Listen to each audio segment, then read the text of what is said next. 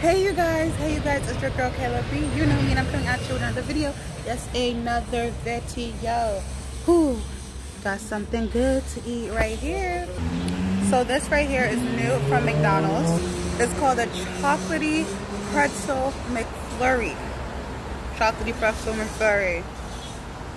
It smells like ice cream and pretzels and chocolate and caramel. That's literally what's in here. Look at that. Look at that goodness. Mmm.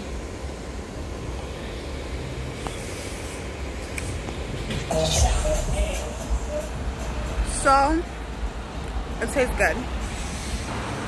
I taste the chocolate in every bite.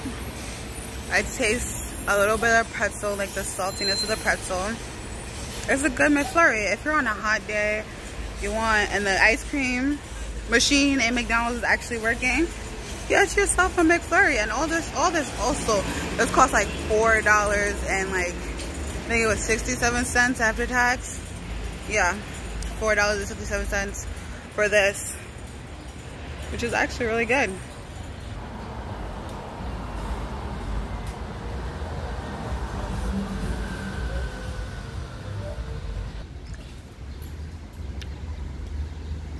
It's really good. I had to eat it now.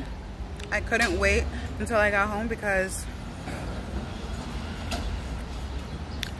it melts real quick.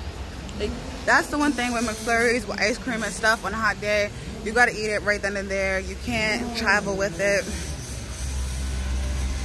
Yeah. But that's it for this video. I hope you guys like this short, sweet food video.